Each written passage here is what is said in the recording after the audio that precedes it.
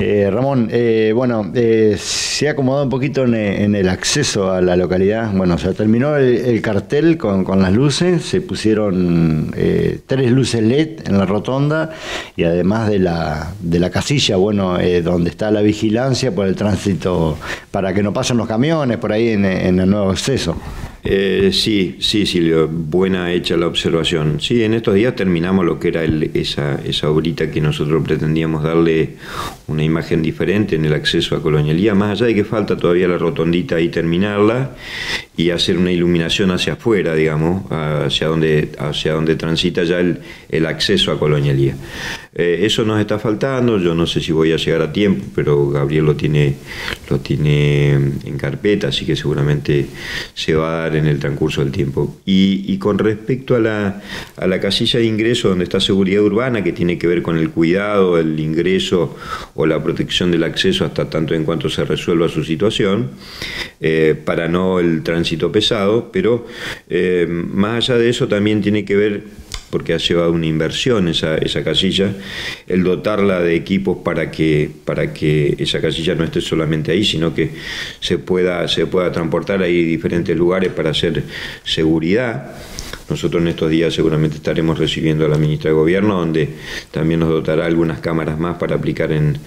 la jurisdicción, pero también tiene que ver con algo que se va a ser lanzado, donde seguramente vos vas a estar cubriendo con, tus cámaras y, la nota, eh, algo que, mm, que en realidad se ha hablado muchísimo, pero, pero en concreciones, digamos, en hechos concretos, hay, hay muy pocos resultados. Hemos, en estos días atrás, hemos hecho una inversión en cuanto a eh, material para el control de la fumigación en el ejido nuestro. Hemos comprado un sistema de comunicación, hemos comprado eh, una, una, mm, una estación meteorológica eh, hemos dotado de em, equipos para que, para que se tome el registro de la fulmigación donde se va a hacer, qué es lo que se va a aplicar eh, en, un sistema satelital em, con base en, en, el municipio y en, la comisaría, con un equipo de traslado para que se, se contacte en el lugar la estación meteorológica es, es transportable, digamos, se puede llevar in situ al lugar donde se está haciendo el trabajo. Eh, tenemos un registro de aplicadores, bueno, se, eh, se va a lanzar en estos días, por eso no quiero adelantar tanto, pero,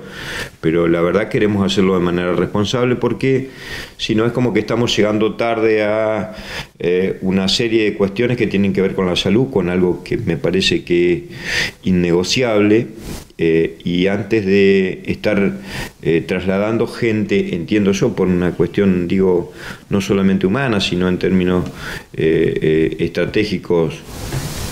económicos. yo prefiero invertir en esto para que se proteja la salud de la gente y no tener que estar llevando a la gente porque le ocasionó alguna cuestión el tema de esto que es tan sensible como, como las fumigaciones. Queremos hacerlo de manera responsable, pero queremos hacerlo. Eh, porque si no es como que siempre apelamos a algunas decisiones de términos provinciales o nacionales y nosotros queremos hacerlo con una ordenanza que se está trabajando dentro del Consejo en ese sentido, pero vamos a ser, vamos a ser muy, muy eh, rigurosos en el tema del cuidado del ambiente y el cuidado de la salud de cada uno de los vecinos de Colonialía. En, en el término del ejido, no solamente en, en el término de la, de la, jurisdicción urbana, sino en el término del ejido, vos sabrás que, que tenemos una jurisdicción muy grande, son 84.900 hectáreas, y bueno, y en ese en esa gran cantidad nosotros queremos ser responsables para que, bueno, para que eh, podamos seguir protegiendo eh, este lugar donde vivimos, que, es nuestro planeta. Mm, nosotros queremos colaborar con este pequeño granito de arena, pero mm, no, queremos seguir eh, alarmándonos por hechos que, han ocurrido y que queremos y entendemos que no tienen que volver a, a ocurrir. Nosotros queremos colaborar en ese sentido, porque si no es como que en el video donde uno eh, ve lo, terrible que ha sido, bueno, esto que ha sido de, conocimiento y de alarma mundial, la quema en el Amazonas, eh, pulmón del mundo, me parece que eh, si nosotros vemos con mucha tristeza lo que ocurre, debemos alarmarnos por lo que nos ocurre a nosotros también. Así que cada uno ocupando, ocupándose de, su lugar y, y tomando su responsabilidad, me parece que eh, podemos lograr algo. Pero vuelvo a decirte, será en estos próximos días y queremos hacerlo de manera muy responsable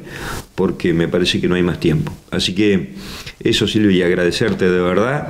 la llegada al lugar y la nota porque es bueno que uno por ahí en el vorágine eh, se entusiasme y quiera hacer cosas, pero si lo divulga mejor así el vecino también lo entiende.